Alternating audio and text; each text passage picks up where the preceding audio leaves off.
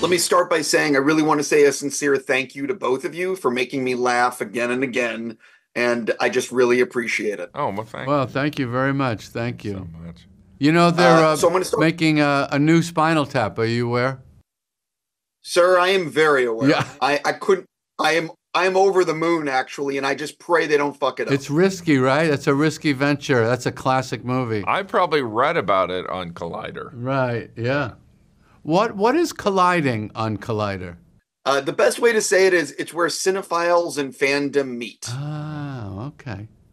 That sounds good. But yeah, I agree with you. Spinal Tap is a masterpiece. Yeah. It's, a- it's an 11 out of 10. Yeah. It, it, it you know, and they're playing with fire, but if they do it, great. People do not seem shy about playing with fire in this business. When you think of some of the remake attempts of all time classics, you're never going to get close to what happened the last time. Well, human beings have a tendency to rationalize, right? It's mm. it's it's like you know you stopped the TV show. M- many people could rationalize. Well, you know, what about?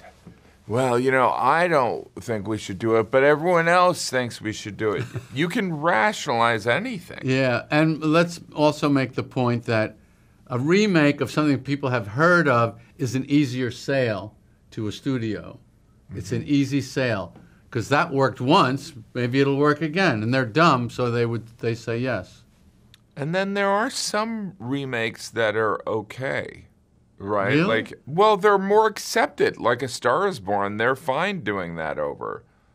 I mean, don't they do a Spider-Man every six months? It's not, it's not every six months, but yes, they do make a lot They of Spider-Man. do. But listen, they do. We're taking really you wanna- off uh, subject. I'm sorry. Sorry. It was your It's shirt. okay. Your Listen, I- shirt distracted me.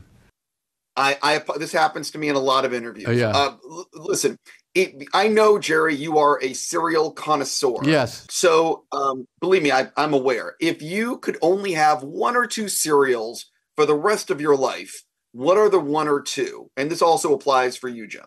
Well, it's really not that hard. I don't know why I'm rubbing my forehead.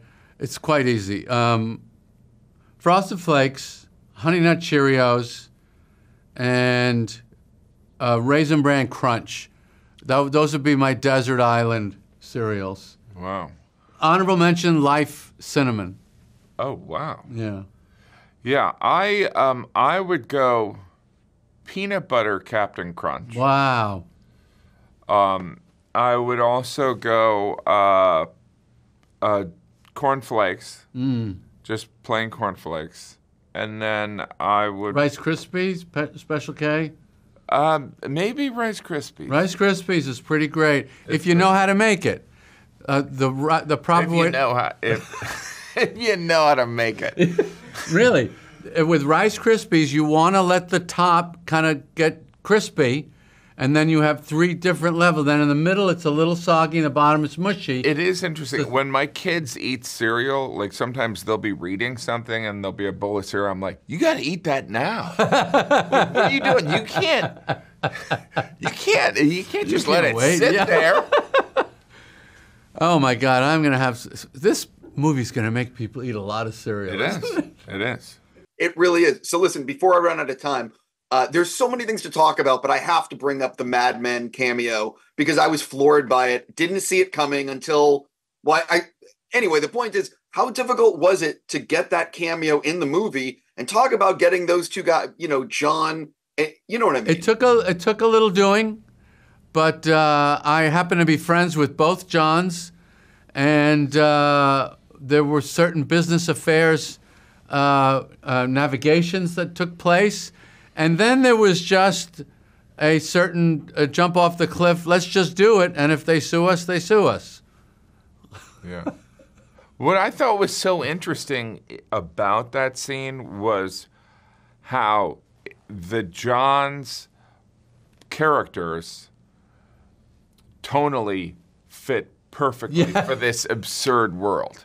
Do you know what I mean? So these Matthew Right, yeah. Weiner crafted characters fit in this kind of, you know, It's silly world. Yeah, yeah, yeah, it's true. They, it didn't seem impossible. And in fact, it made perfect sense. Yeah. I got a couple of Madison Avenue guys coming in. They never Yeah. miss.